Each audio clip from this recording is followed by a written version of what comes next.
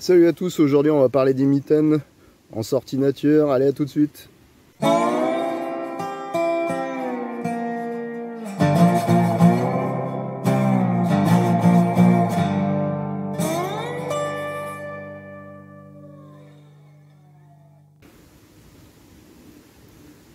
Alors aujourd'hui on va parler des mitaines hein, quand on est en sortie nature etc. Alors les mitaines c'est très pratique parce que bon vous voyez celles-ci sont des mitaines toute saison.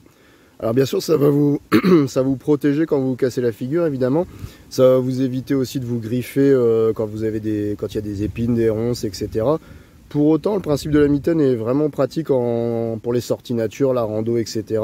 Parce que justement vous avez gardé une bonne acuité, euh, vous avez vraiment gardé un bon usage des des, doigts tout simplement.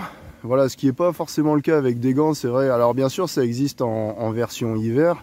Vous voyez ici, c'est des mitaines euh, commandées euh, en Asie. Voilà, ça coûte pas très cher et c'est vrai que bah, quand vous allez tomber, ça va vous éviter de vous blesser. voilà. Après, ça vous protéger les mains aussi, vous tenir chaud. C'est vrai que là, une mitaine euh, toute saison, c'est pas mal. Hein. Voilà, bon, j'en ai aussi hiver des plus chaudes.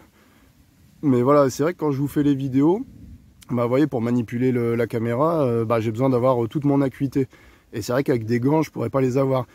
si je mets pas de gants, je vais pas être protégé euh, en cas de griffure, de chute, etc. Parce que bon, bah, quand on fait des sorties nature, de la rando, bon, bah voilà, ça arrive. Voilà, on va tomber, on va chuter et bon après, on, voilà, on saigne, tout ça, c'est pas pratique. Bah, c'est vrai qu'avec les mitaines, mine ça va vraiment beaucoup vous protéger, vous protéger des coups aussi quand vous allez tomber sur des pierres, des choses comme ça.